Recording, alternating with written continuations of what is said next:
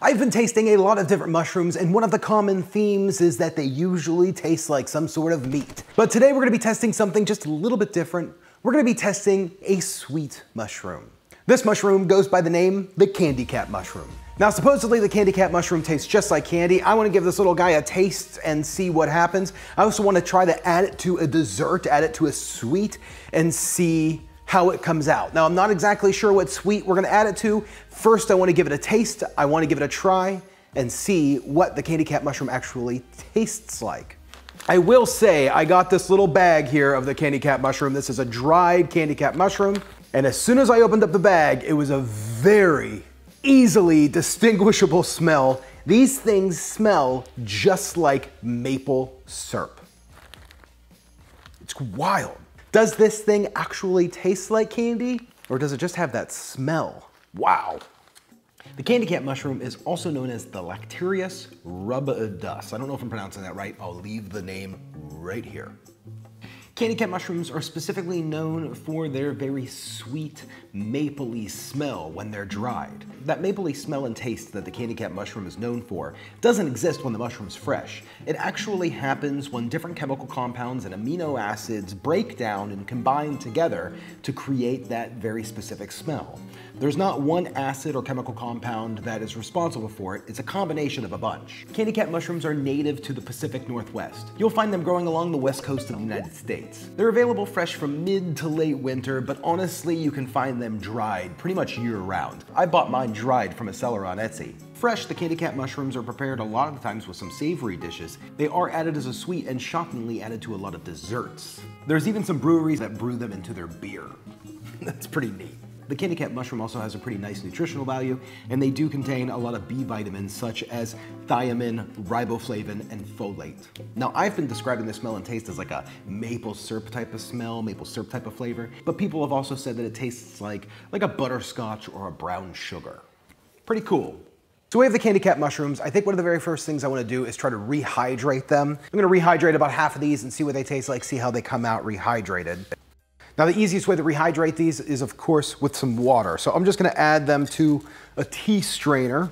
And then I'm just gonna add some tap water to them, not scalding hot, but pretty warm, uh, very warm to the touch. And I'm just gonna let these guys sit in this like warm water bath for about 15 minutes. Okay, these look perfect, perfectly hydrated, really nice and soft. They, they came back to life. So the next step before we taste test these guys is I'm gonna soften, soften them up with some butter. Just gonna throw them into a large skillet. Now this is Earth Balance vegan butter. You can use whatever vegan butter you want, margarine, whatever you got. Now I will say frying these guys up with some butter definitely releases a different smell. It still has that sweet smell, honestly, almost a bit chocolatey, but there's some mushroom smell is kind of popping out now. So there's this sweet and savory thing that's happening. And these are all pretty small, so we're only gonna saute them for just a few moments. Okay, so let's see if these guys are actually sweet or if they just smell sweet. So they definitely have a richness to them. They kind of have a little bit of a mushroom taste to them, but for the most part, they still have a little bit of the sweetness. Not much, but it's still there. I think I'm gonna add them the chocolate chip cookies. Now, just from doing a little bit of research, it does seem like people do make some candy cap cookies. Not gonna follow any of those recipes. I'm just gonna make a basic vegan chocolate chip cookie. Now I'm gonna rehydrate and saute up another batch of these. I'm gonna fill up probably about a cup of these, but then I'm also gonna use some of the dehydrated portion left for some flavoring. That's really gonna make a big difference. Okay, let's do that. So while we're waiting for this other batch to rehydrate, I'm gonna take about two tablespoons worth and use my old coffee grinder, which has been turned into my spice grinder, and we're gonna going to grind up very fine some of these dehydrated ones. These dehydrated ones really, really have that super sweet smell, so I'm really thinking it's gonna add to the flavor.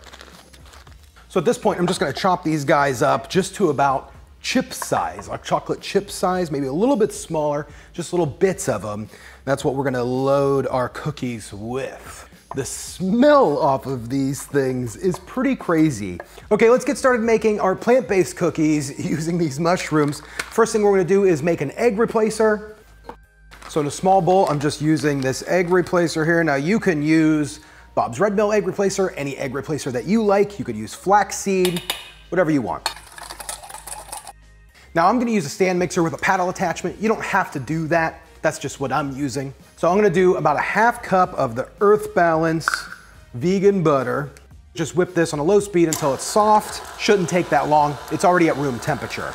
That didn't take that long. Now we're gonna add one cup of brown sugar and the dehydrated mushroom powder. Now, hopefully I got about two tablespoons. It's close enough.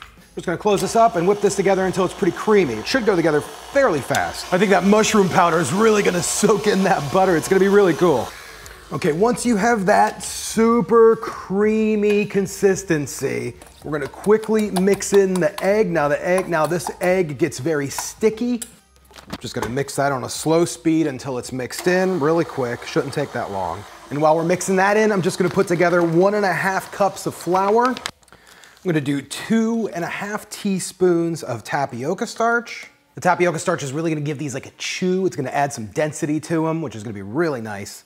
Then about one teaspoon of baking soda. Then all we're gonna do is just mix this together really low until it's all combined, just on a low speed. It should start to kind of crumble together and then form our cookie dough. Okay, this came out perfect. This looks awesome. God, that really smells like that maple syrup. Amazing. So I have my mushrooms here and I have some, these are vegan chocolate chips. You could get these pretty much at most grocery stores. Just check the back. This one's from Toll House. What I'm gonna do, because I wanna make half of these chocolate chip mushroom and then another half of them where they're just mushroom. So I'm cutting the dough in half. So, and I want about, I want a lot, I like a lot of chocolate chips. So I'm gonna do about a cup of chocolate chips. Do a little less, let's do about a half of a cup. So we're gonna take half this in here, half a cup of chocolate chips, do about a tablespoon of the mushroom, fold these guys together. Weird combination. And then for the other one, all of the mushrooms, the rest of these mushrooms. so I've got these guys in two kind of little log packages that should be easy to cut up and turn into cookies. We're gonna throw these in the freezer for about 15, 20 minutes to firm up, and then we're gonna move forward. Okay, so these guys have firmed up. I'm gonna preheat my oven to 350 degrees. So this is my mushroom only cookie. We're gonna cut these into about five cookies. This is a one inch log here. And then I'm just gonna roll these guys into a ball and set them on my Parchment Lines baking sheet. Okay, oven's ready to go. Let's cook these for about 12, 15 minutes. Okay, these guys are done. There's an incredibly odd mushroom and sweet smell that's happening right now. Okay, so I did drop a bit of kosher salt on these things. I mean, look at these cookies. Look at them. Let's see, does the mushroom cookie stand up? Is the candy cap mushroom sweet? That is wild. That is wildly good. So there's still like a sweetness to them. They're warm, they have a really delicious flavor like that's very hard to describe. Definitely not mushroom-like. I'm a fan of the Candy Cap mushroom cookie. These are really good. It kind of tastes like a caramel macchiato. That's a cool, okay. Okay, well, I'm gonna take these over to my buddy's house for poker night. It's cookie night at poker night. I wanna see what these guys think. Okay, Andy, let me hmm. know what you I've think. had that a couple times. Doesn't It's matter. good. What do you think it is? Mushrooms. It's not bad though. What if I told you it was mushrooms? It tastes like mushrooms to me. Is this really a mushroom one? Okay. Okay, Ben.